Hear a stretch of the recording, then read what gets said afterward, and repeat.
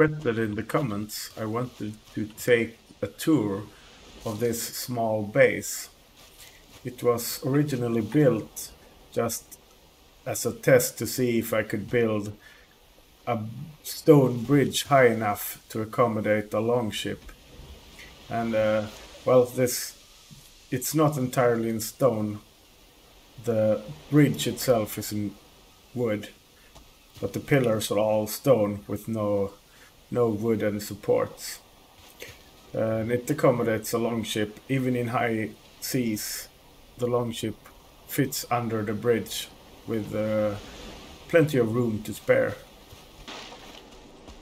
The sign says Näbbmuseborg, which means Shrew Fort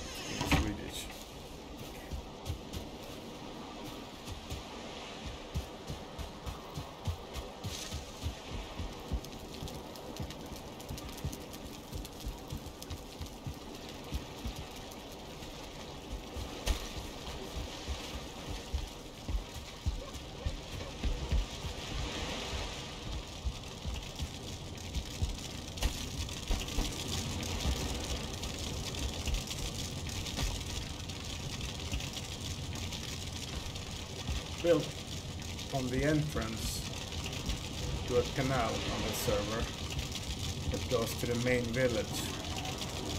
So I put sort of a lighthouse out here for when coming back from travels. It's easier to see where to go.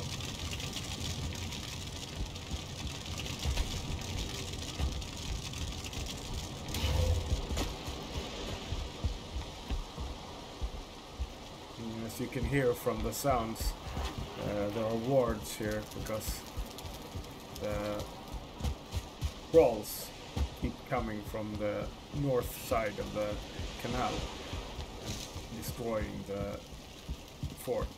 So I put wards so that they wouldn't have to rebuild it.